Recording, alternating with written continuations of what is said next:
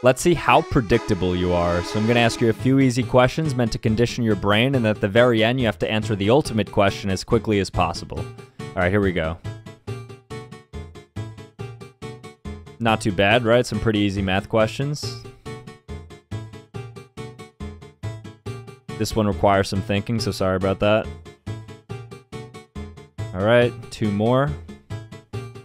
And last one, 8 plus 8. So now quickly think of a vegetable.